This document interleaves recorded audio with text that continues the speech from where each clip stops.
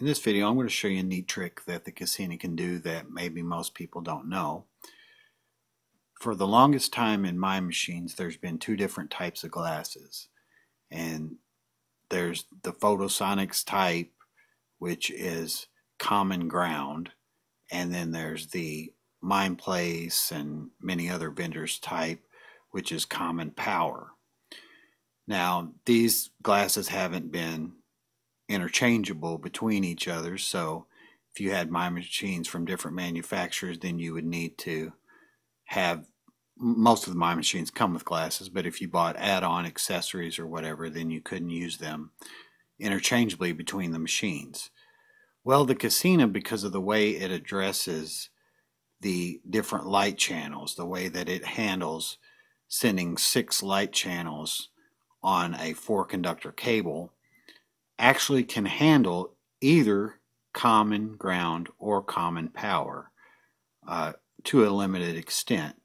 However, that extent is most useful for any type of the common ground connectors that come from like Photosonix or whatever that either use a switch to do different colors or um, have some of these eye open ones. Like the ones you're looking at here are their PV stem glasses. So it'll even do alternating. Like right now you can see I'm on color set 8, which is red, green. And I just have the Photosonix connected here, just like in the normal light connector. Turn off the light maybe for a second. Yeah. And so there you can see that it's addressing the Photosonix does sell a version of these, or they do now. I, they didn't in the past, but of these for our common power connector. However, these are their common ground version, and they work just fine with the Kasina. So there's so the Kasina really is, in many senses, a universal mind machine because it, you can use different kinds of glasses from different manufacturers. Like, let me just quickly show you a set of glasses from the um, old Muse.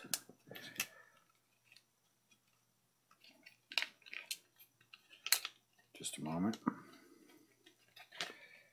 Where they put a long, long, long, long, long cable on these glasses probably a six foot cable. Okay.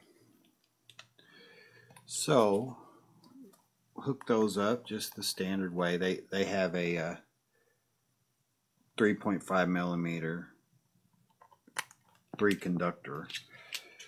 So these are old, real old. Um, I don't know if you can see it but the Photosonix True White CG polarity glasses. CG stands for common ground.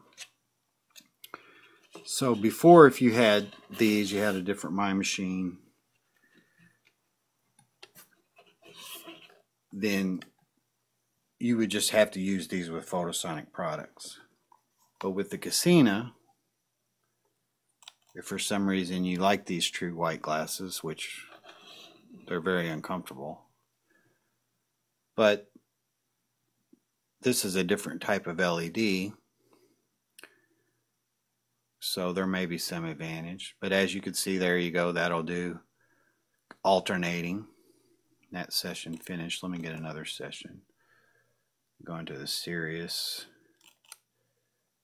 folder. Do click quick alertness. Turn off the light. So there you go. Now if you didn't want them to alternate, as I said before, I was in color set 8. If I go up to color set 3, then they won't alternate. So they would just pulse together. But anyway, there's another nifty little trick, and again, shows that the Kasina is essentially a universal mind machine. Thanks for watching.